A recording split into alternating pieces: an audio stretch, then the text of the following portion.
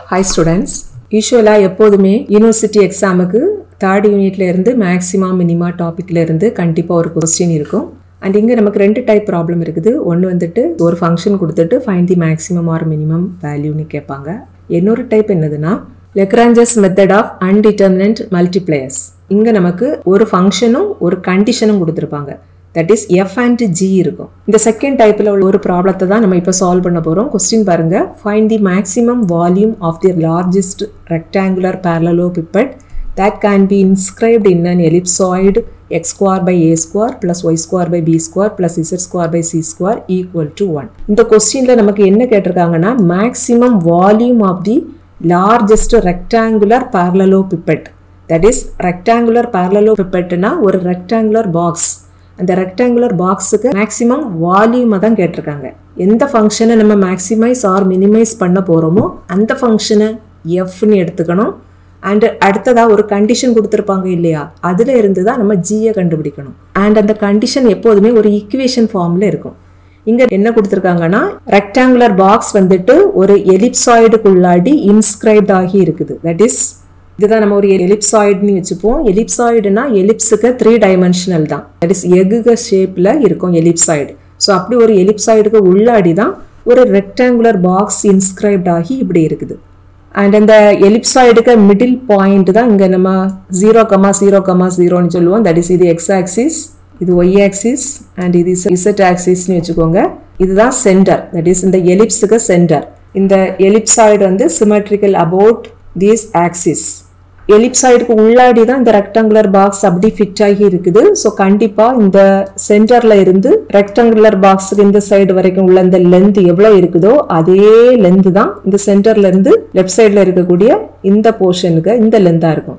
Suppose இதுலேருந்து இது வரைக்கும் உள்ள இந்த லென்த் எக்ஸ் அப்படின்னு எடுத்துட்டோன்னா இங்கேருந்து இங்கே வரைக்கும் உள்ள இந்த லென்த்து கூட எக்ஸாக தான் இருக்கும். ஸோ டோட்டலாக நமக்கு இந்த ரெக்டாங்குலர் பாக்ஸுக்கு இந்த லென்த் என்ன வரும்னா டூ எக்ஸாக இருக்கும். அண்ட் அதே போல தான் பிரெட் இருக்கும் டூ ஒய்னு வச்சுக்கலாம். அண்ட் இந்த ஹைட்டும் அதே போல தான் இங்கேருந்து இது வரைக்கும் உள்ள இந்த ஹைட்டும் அண்ட் இங்கேருந்து இது வரைக்கும் உள்ள ஹைட்டும் சேமாக இருக்கும். சப்போஸ் இந்த ஹைட்டை நம்ம இசட்டுன்னு வச்சுட்டோம்னா இங்கேருந்து இங்கே வரைக்கும் உள்ள இந்த டிஸ்டன்ஸையும் இசட்டுன்னு வச்சுக்கலாம். ஸோ இந்த ரெக்டாங்குலர் பாக்ஸுக்கு ஹைட் வந்துட்டு நமக்கு டூ இசட்டாக இருக்கும். So let's assume the length of the rectangular box is two x and breadth of the rectangular box is two y and height of the rectangular box is two z rectangular பாக்ஸுக்கு volume கண்டுபிடிக்கிறதுக்குள்ள formula இல்லைன்னா length into breadth into height so two x into two y into two z வரும். That is eight x y z இந்த type ப்ராப்ளத்துக்கெல்லாம் டயக்ராமுக்கு mark ஒன்றும் கிடையாது. இங்கே இந்த டயக்ராம் இல்லாமல் கூட சர்ஃபேஸ் ஏரியா அண்ட் வால்யூம் எழுதிடலாம் இங்கே நமக்கு இந்த ரெக்டாங்குலர் பாக்ஸ் வந்துட்டு இந்த எலிப்சைடுக்கு உள்ளாடி இன்ஸ்கிரைப்ட் ஆகி இருக்கிறதுனால தான் நம்ம இங்கே ரெக்டாங்குலர் பாக்ஸுக்கு லென்த்து பிரெட்த்து ஹைட் எல்லாத்துலேயும் டூ டூ டைம்ஸ் இருக்குது. இதுக்கு முன்னாடி நம்ம ரெக்டாங்குலர் பாக்ஸ் ப்ராப்ளம் எல்லாம் பார்த்தோம் இல்லையா? அதுலலாம் நம்ம எக்ஸ் ஒய் செட்டுன்னு எடுத்திருப்போம். ஸோ இங்கே நமக்கு வால்யூமை தான் மேக்ஸிமைஸ் பண்ண சொல்லியிருக்காங்க. ஸோ இந்த வால்யூமை நம்ம எஃப்னே அசியூம் பண்ணிக்கணும். So let's assume f equal to eight x y z and என்ன ஒரு கண்டிஷன் போல் இங்கே ஒரு இக்குவேஷன் கொடுத்துருக்குது இல்லையா? அந்த எலிப்சாய்டுக்கு இக்குவேஷன் இதுதான் இக்குவேஷன் ஃபார்மில் இருக்குது. இதில் இந்த ரைட் சைடில் இருக்கக்கூடிய இந்த ஒன்னை லெஃப்ட் சைடில் எடுத்ததுக்கு அப்புறம் லெஃப்ட் சைடில் இருக்கக்கூடிய அந்த ஃபங்க்ஷனை நம்ம ஜி அப்படின்னு அசியூம் பண்ணிக்கலாம். ஸோ இங்கே ஜிக்கு வேல்யூ நமக்கு x square by a square plus y square by b square plus z square by c square minus one அப்படி கிடைக்கும். அண்ட் இங்கே டிஃபரன்ஷியேஷன் ஃபார்முலாஸ் எதெல்லாம் யூஸ் ஆகும்னா d by dx of x power n இது use ஆகும். That is x power n க்கு differentiation formula n into x power n minus 1 and a differential value of any constant suppose a அப்படிங்கிறது ஏதாவது ஒரு கான்ஸ்டன்ட்னு வச்சுக்கோங்க and அந்த constant மட்டும் தனியாக இருந்தால் differential value 0 then differential value of constant into any variable for example differential value of a into x square இருக்குதுன்னு வச்சுக்கோங்க இதில் நம்ம ஏக்க differential value 0ன்னு போட்டுறக்கூடாது கான்ஸ்டன்ட்டும் வேரியபிளும் ப்ராடக்டில் இருந்ததுன்னா ஃபஸ்ட் அந்த கான்ஸ்டன்ட் எழுதிக்கணும் தென் இன்ட்ரூ அந்த வேரியபிளுக்கு டிஃப்ரென்ஷியல் வேல்யூ எழுதணும். இந்த வேரியபிள் எந்த ஃபார்மில் இருக்குது? எக்ஸ் பவர் என்னில் இருக்குது. So two into x power one அப்படி கிடைக்கும். இந்த எஃப் அண்ட் ஜி எழுதுனதுக்கு அப்புறம் நம்ம புதுசாக ஒரு ஃபங்க்ஷன் ஃபார்ம் பண்ணணும். என்னதுன்னா capital f equal to small f plus lambda g and இதில் எஃப் அண்ட் ஜிக்கு வேல்யூவை கொண்டு அடுத்தது சப்ஸ்டியூட் பண்ணிடணும். நெக்ஸ்ட் இந்த இக்குவேஷன்லேருந்து f suffix x f suffix y f suffix z இந்த மூணையும் கண்டுபிடிக்கணும். F suffix எக்ஸ்னா doe f by doe x that is இந்த எஃப் அப்படிங்கிற இந்த ஃபங்க்ஷனை எக்ஸை பொறுத்து பார்ஷியலி டிஃப்ரென்ஷியேட் பண்ணணும். எக்ஸை பொறுத்து பார்ஷியலி டிஃப்ரென்ஷியேட் பண்ணுறப்ப எக்ஸ் மட்டும்தான் வேரியபிளாக இருக்கும். ரிமைனிங் எல்லாம் கான்ஸ்டன்ட் ஸோ இந்த ஃபஸ்ட்டு டேர்மில் இந்த எக்ஸ் பவர் ஒன் மட்டும்தான் வேரியபிள் ரிமைனிங் இருக்கக்கூடிய eight y z constant so இங்கே ஃபர்ஸ்ட் அந்த கான்ஸ்டன்ட் எழுதிக்கணும். தென் எக்ஸ் பவர் ஒன்னுக்கு differential value with respect to எக்ஸ்னா ஒன்னு கிடைக்கும். அண்ட் அடுத்த டேர்மில் லேம்டாங்கிறது ஒரு கான்ஸ்டன்ட் இந்த ஃபேக்டருக்குள்ளே இருக்கிறதுல வேரியபிளாக இருக்குது. ஸோ இங்கே கான்ஸ்டன்ட் அண்ட் வேரியபிள் ப்ராடக்ட்டில் இருக்குது. ஸோ ஃபர்ஸ்ட் அந்த கான்ஸ்டன்ட் எழுதிடலாம் லேம்டா இன்டூ தென் இந்த ப்ராக்கெட்டில் இருக்கக்கூடிய இந்த ஃபங்க்ஷனுக்கு டிஃபரன்ஷியல் வேல்யூ எழுதிக்கணும். Partial with respect to x so இந்த x square by a square இதில் டினாமினேட்டரில் இருக்கிற ஏ ஸ்கொயர் கான்ஸ்டன்ட் ஸோ டினாமினேட்டரில் இருக்கிற டேம் அதை அப்படியே எழுதிடலாம். பட் நியூமரேட்டரில் இருக்கக்கூடிய இந்த எக்ஸ் ஸ்கொயருக்கு differential value two into x power one வரும். அடுத்த மூணு டேமுமே கான்ஸ்டன்ட் ஸோ அதுக்கு டிஃபரன்ஷியல் வேல்யூ ஜீரோ நெக்ஸ்ட்டாக நம்ம எஃப் சஃபிக்ஸ் ஒய் கண்டுபிடிச்சிடலாம். எஃப் சஃபிக்ஸ் ஒய்னா எஃப்ங்கிற அந்த ஃபங்க்ஷனை ஒய்யை பொறுத்து பார்ஷியலி டிஃப்ரென்ஷியேட் பண்ணணும். ஸோ இங்கே ஒய் மட்டும்தான் வேரியபிளாக இருக்கும். ரிமைனிங் எல்லாம் கான்ஸ்டன்ட் ஸோ இதில் ஃபஸ்ட்டு டேர்மில் eight x z constant but y power one variable so y power ஒன்னுக்கு டிஃபரன்ஷியல் வேல்யூ ஒன் அப்படி கிடைக்கும். ஸோ எயிட் எக்ஸ் இசட் அப்படி கிடைக்கும். அடுத்த டேர்மில் lambda constant so first lambda எழுதிக்கலாம். தென் இந்த ப்ராக்கெட்டில் இருக்கக்கூடிய இந்த டேர்முக்கு differential value with respect to ஒய்க்கு பண்ணுறோம் ஸோ இங்கே first and third and fourth term இந்த மூணும் கான்ஸ்டன்ட் ஸோ அதுக்கு டிஃபரன்ஷியல் வேல்யூ ஜீரோ இந்த டேர்மில் டினாமினேட்டரில் உள்ள பி ஸ்கொயர் கான்ஸ்டன்ட் அதை அப்படியே வச்சுக்கலாம். ஒய் பவர் டூக்கு differential value two into y power one வரும். ஸோ நமக்கு two y divided by b square that is இந்த டேர்ம் கிடைக்கும். அடுத்து எஃப் சஃபிஸ் இசட் கண்டுபிடிச்சிடலாம். எஃப் சஃபிஸ் இசட்னா எஃப்ங்கிற ஃபங்க்ஷனை இசட்டை பொறுத்து பார்ஷியலி டிஃபரன்ஷியேட் பண்ணுவோம். ஸோ நமக்கு இங்கே இசட் மட்டும்தான் வேரியபிள் எக்ஸ் ஒய் கான்ஸ்டண்ட்டாக இருக்கும். ஸோ இங்கே eight x y constant z power one மட்டும்தான் வேரியபிள் அண்ட் இசட் பவர் ஒன்னுக்கு டிஃபரன்ஷியல் வேல்யூ ஒன்னு கிடைக்கும். ஸோ நமக்கு first term eight x y அப்படி கிடைக்கும். அடுத்த டேர்மில் லேம்டா கான்ஸ்டன்ட் தென் இன்டூ இதில் ஃபஸ்ட்டு டேர்ம் செகண்ட் டேர்ம் இதில் எல்லாமே கான்ஸ்டன்ட் தான் இருக்குது ஸோ அதுக்கு டிஃபரன்ஷியல் வேல்யூ ஜீரோ இந்த third term denominator c square அதுவும் கான்ஸ்டன்ட் ஸோ அதை அப்படியே வச்சுட்டு நியூமரேட்டர் இசட் ஸ்கொயரை மட்டும் டிஃபரன்ஷியேட் பண்ணணும். அண்ட் இசட் பவர் டூக்கு differential value two into z power one அப்படி கிடைக்கும். லாஸ்ட் டேர்ம் கான்ஸ்டன்ட் அதுக்கு டிஃபரன்ஷியல் வேல்யூ ஜீரோ ஸோ நமக்கு இந்த டேர்ம் கிடைக்கும். நெக்ஸ்ட் நம்ம என்ன செய்ய போகிறோம்னா f suffix x equal to zero f suffix y equal to zero f suffix z equal to zero இந்த மூணு இக்குவேஷனையும் யூஸ் பண்ணி எக்ஸ் ஒய் இசட்டுக்கு ரிலேஷனை கண்டுபிடிக்கணும். ஸோ அதுக்கு just f suffix x f suffix y f suffix z மூணு வேல்யூவையும் இந்த இக்குவேஷன்ஸில் கொண்டு நம்ம இப்படி சப்ஸ்டியூட் பண்ணியிருக்கிறோம். இந்த டைப்பில் வரக்கூடிய எல்லா ப்ராப்ளத்துக்கும் நீங்கள் என்ன செய்யணும்னா லேம்டா இருக்கக்கூடிய அந்த டேர்மை மட்டும் ரைட் சைடில் எடுத்துடணும் மூணு இக்குவேஷன்லேயுமே நெக்ஸ்ட்டு ரெண்டு ரெண்டு இக்குவேஷன் எடுத்து டிவைட் பண்ணால் போதும் நமக்கு எக்ஸ் ஒய் இசட்டுக்கு ரிலேஷன் கிடச்சிரும். ஸோ இந்த ஃபர்ஸ்ட் இக்குவேஷன்லேருந்து இந்த லேம்டா இருக்க டேம் ரைட் சைடில் எடுத்து எடுத்தோம்னா லெஃப்ட் சைடில் எயிட் ஒய் இசட் இருக்கும். ரைட் சைடில் minus two lambda x by a square வரும். இதே போல் அடுத்த இக்குவேஷன்லேயே லேம்டா இருக்கக்கூடிய டேமை அடுத்த சைடில் எடுத்துருக்குறோம். அண்டு மூணாவது இக்குவேஷன்லேயுமே இந்த லேம்டா இருக்கிற டேமை ரைட் சைடில் எடுத்துருக்குறோம். இதை இக்குவேஷன் நம்பர் ஒன்னுன்னு வச்சுக்கலாம்.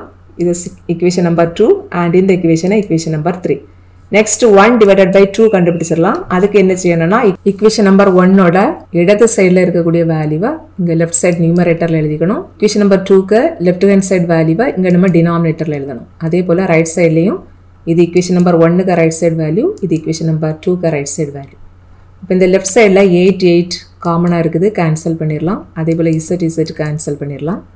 அண்ட் ரைட் சைடில் மைனஸ் டூ லேம்டா இங்கே நியூமரேட்டரில் இருக்குது இங்கேயும் மைனஸ் டூ லேம்டா இருக்குது.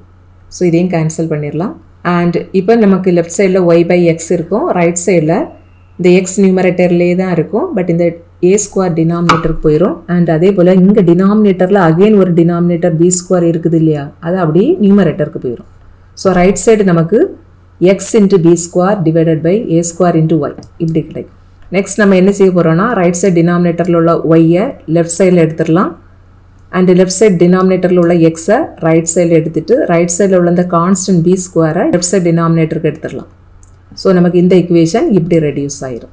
நெக்ஸ்ட்டாக நம்ம இக்குவேஷன் நம்பர் டூ அண்ட் த்ரீயை டிவைட் பண்ணுறோம் ஸோ டிவைட் பண்ணுறப்ப இந்த இக்குவேஷன் கிடைக்கும். அண்ட் இங்கே நியூமரேட்டரில் எயிட் எக்ஸ் இங்கே டினாமினேட்டர்லேயும் எயிட் எக்ஸ் காமனாக இருக்குது கேன்சல் பண்ணிடலாம். அண்ட் ரைட் சைட் நியூமரேட்டரில் இங்கே மைனஸ் டூ லேம்டா இங்கேயும் ஒரு மைனஸ் டூ லேம்டா கேன்சல் பண்ணிடலாம். அண்ட் ப்ரீவியஸ் ஸ்டெப்பில் செய்ததே போல தான் இந்த பி ஸ்கொயர் டினாமினேட்டருக்கு வந்துடும் அண்ட் இந்த சி ஸ்கொயர் நியூமரேட்டருக்கு போயிடும் ஸோ நமக்கு இந்த இக்குவேஷன் கிடைக்கும். அடுத்ததாக நம்ம என்ன செய்யணும்னா இந்த டினாமினேட்டரில் இருக்கக்கூடிய வேரியபிள்ஸ் எல்லாம் அப்படி நியூமரேட்டருக்கு கொண்டு போயிடணும் ஸோ லெஃப்ட் சைடு இருக்கக்கூடிய இந்த ஒய் அப்படியே ரைட் சைட் நியூமரேட்டருக்கு போயிடும் ரைட் சைட் டினாமினேட்டரில் இருக்கக்கூடிய இந்த இசட் லெஃப்ட் சைட் நியூமரேட்டருக்கு போயிடும் ரைட் சைட் நியூமரேட்டரில் இருக்கக்கூடிய இந்த கான்ஸ்டண்ட்டை அப்படியே லெஃப்ட் சைடு டினாமினேட்டருக்கு கொண்டு வந்துடலாம் ஸோ நமக்கு இந்த இக்குவேஷன் கிடைக்கும். இப்போ இதை இக்குவேஷன் நம்பர் ஃபைவ்னு வச்சுக்கலாம். அண்ட் ப்ரீவியஸ் ஸ்டெப்பில் கிடச்ச இந்த இக்குவேஷனை இக்குவேஷன் நம்பர் ஃபோர்னு வச்சுக்கலாம். இப்போ இந்த ரெண்டு இக்குவேஷனையும் கம்பேர் பண்ணிடலாம். இங்கே நமக்கு x square by a square equal to y square by b square கிடச்சிது. இங்கே நமக்கு ஒய் ஸ்கொயர் பை பி ஸ்கொயருக்கு value z square by c ஸ்கொயர்னு கிடச்சிது. ஸோ ரெண்டையும் கம்பேர் பண்ணுனா நமக்கு இந்த இக்குவேஷன் கிடைக்கும். That is x square by a square equal to y square by b square equal to z square by c square that is இந்த மூணு வேல்யூவும் ஈக்குவல் தான். அடுத்ததாக நம்ம என்ன செய்வோம்னா இந்த எக்ஸ்ஒய் இசட்டுக்கு ரிலேஷன் கண்டுபிடிச்சதும் எக்ஸ்ஒய் இசட்டுக்கு வேல்யூ கண்டுபிடிக்கணும். இந்த வேல்யூ கண்டுபிடிக்கிறதுக்கு நம்ம என்ன செய்யணும்னா இந்த எக்யூஷன் நம்பர் ஒனில் கொண்டு இந்த ரிலேஷனை நம்ம அப்ளை பண்ணிடலாம் ஃபர்ஸ்ட் நம்ம என்ன ரிலேஷன் அப்ளை பண்ண போகிறோம்னா இந்த y square by b square இதோட வேல்யூவும் x square by a square தான். Z square by c square இதோட வேல்யூவும் x square by a square தான். ஸோ இந்த மூணு டேர்ம்லேயுமே நம்ம என்ன போட போகிறோம்னா x square by a square அப்படி சப்ஸ்டியூட் பண்ண போகிறோம் ஸோ அப்படியே சப்ஸ்டியூட் பண்ணுறப்ப நமக்கு three x square by a square அப்படின்னு லெஃப்ட் சைடில் கிடைக்கும் ரைட் சைடில் ஒன்னு கிடைக்கும். இதுலேருந்து நம்ம எக்ஸ் ஸ்கொயருக்கு வேல்யூ கண்டுபிடிச்சா ஏ ஸ்கொயர் பை த்ரீ வரும். ஸோ எக்ஸுக்கு வேல்யூ நமக்கு plus or minus a by root த்ரீன்னு கிடைக்கும். பட் இங்கே நம்ம ப்ளஸ் வேல்யூ மட்டும் தான் எடுத்துக்கணும் பிகாஸ் ரெக்டாங்குலர் பாக்ஸுக்கு length breadth and height measure பண்ணுற அந்த வேல்யூ தான் நம்ம இங்கே two x two y two இசட்னு எடுத்துருக்குறோம். ஸோ இது எப்போதுமே பாசிட்டிவாக தான் இருக்கும். அண்ட் அதே போல் ஒய் இசட்டை கண்டுபிடிச்சிடலாம். ஒய்க்கு வேல்யூ கண்டுபிடிக்க நம்ம என்ன செய்யணும்னா இந்த இக்குவேஷன் இருக்குது இல்லையா? தட் இஸ் இதுதான் இக்குவேஷன் நம்பர் ஏ இங்கே X square by A ஸ்கொயரும் y square by b square இதுவும் சேம் தான். அதே போல் இசட் ஸ்கொயர் பை சி ஸ்கொயரும் ஒய் ஸ்கொயர் பை பி ஸ்கொயரும் சேம் தான். So x square by a ஸ்கொயருக்கும் z square by c square இந்த ரெண்டுக்குமே ஒய்யில் உள்ள இந்த வேல்யூவை கொண்டு இங்கே சப்ஸ்டியூட் பண்ணுனா ஒய்க்க வேல்யூ கிடச்சிரும். தட் இஸ் இந்த ஃபர்ஸ்ட் டேமுக்கும் லாஸ்ட் டேமுக்கும் என்ன சப்ஸ்டியூட் பண்ணுறோன்னா y square by b square அப்படி சப்ஸ்டியூட் பண்ணுனா நமக்கு மூணு time y square by b square கிடைக்கும். அண்ட் ரைட் சைடில் ஒன் வரும். அந்த இக்குவேஷன் தான் இது. இதுலேருந்து ஒய்க்க வேல்யூ பி பை ரூட் த்ரீன்னு கிடைக்கும். அண்ட் அடுத்தது இசட் கண்டுபிடிக்க என்ன செய்யணும்னா ஆல்ரெடி நம்ம கண்டுபிடிச்சோம் இல்லையா? X square by a square அதுக்கு வேல்யூவும் z square by c square தான். Y square by b square அதுக்கு வேல்யூவும் z square by c square தான். இங்கே நமக்கு இசட்டுக்கு வேல்யூ தான் வேணும். ஸோ அதனால எக்ஸ் அண்ட் ஒய் எல்லாத்தையுமே இன் டேர்ம்ஸ் ஆஃப் இசட்டில் இங்கே எழுதியிருக்கிறோம். ஸோ இங்கே நம்ம X square by A ஸ்கொயருக்கும் z square by c square போட்டுடலாம் Y square by B ஸ்கொயருக்கும் z square by c square அப்படி சப்ஸ்டியூட் பண்ணால் லெஃப்ட் சைடில் நமக்கு three times z square by c ஸ்கொயர்னு கிடைக்கும் equal to one that is இந்த equation கிடைக்கும். So இதில் இருந்து இசட் ஸ்கொயருக்கு வேல்யூ சி ஸ்கொயர் பை த்ரீன்னு கிடைக்கும். So இசட்டுக்கு value c by root three இந்த கொஸ்டினில் மேக்ஸிமம் வால்யூம் தான் கேட்டிருக்காங்க. And வால்யூம்க்கு value eight x y z இதில் எக்ஸ் ஒய் இசட் மூணு வேல்யூமே இங்கே கொண்டு சப்ஸ்டியூட் பண்ணுனா நமக்கு மேக்ஸிமம் வால்யூம் வந்துட்டு eight a b c divided by இங்கே ரூட் த்ரீ இன்ட்டு ரூட் த்ரீனா த்ரீன்னு எழுதிக்கலாம். த்ரீ ரூட் த்ரீ அப்படின்னு கிடைக்கும்.